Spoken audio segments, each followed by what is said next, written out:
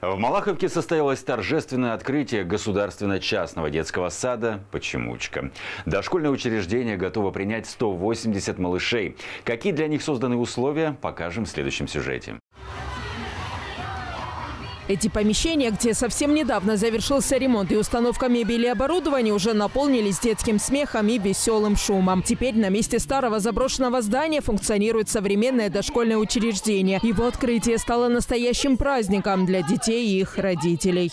Садик очень красивый, я даже скажу, наверное, один или самый красивый, или один из самых красивых в нашем округе, и не только в округе, а в Подмосковье. Мы очень рады, что Мария Михайловна, Игорь Валерьевич открыли на нашей территории подобный объект. Конечно, мы будем и в дальнейшем поддерживать, если будут мысли по реализации э, либо э, школ, либо детских садов. Будем только вам всегда во всем помогать. В детском саду 8 групп, 4 из них ясельные. Учреждение оснащено современным интерактивным оборудованием, спортивным, хореографическим, музыкальным залом и пищеблоком. На первом этаже бассейн и соляная пещера.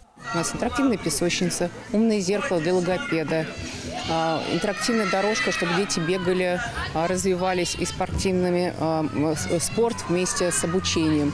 Потому что моторика и движение, все это взаимосвязано, поэтому детям будет легче, например, запоминать тот же английский язык. Дети в дальнейшем могут пойти в школу, и уже у них какие-то будут навыки в обучении, в чтении, в математике. Штат сотрудников уже полностью укомплектован. Перед тем, как попасть в этот детский сад, воспитатели прошли специальную стажировку в аналогичном учреждении в Подмосковье.